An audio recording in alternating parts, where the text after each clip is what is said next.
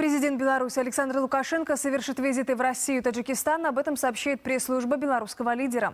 14 мая в Сочи состоится заседание Высшего Евразийского экономического совета. На нем политики обсудят развитие интеграционного объединения и перспективы углубления взаимодействия по ряду направлений. Как известно, такие саммиты – отличная площадка для двусторонних переговоров. Ожидается, что Александр Лукашенко встретится с российским коллегой Владимиром Путиным.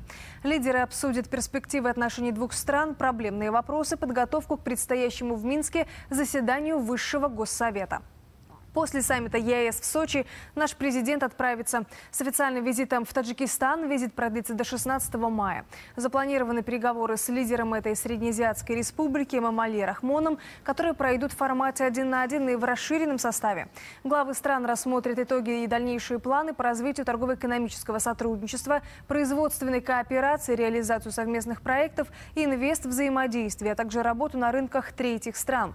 По итогам переговоров ожидается подписание двусторонних двусторонних документов. Предполагается также, что президенты примут участие в церемонии открытия национальной выставки Беларуси в Таджикистане и ряде других мероприятий.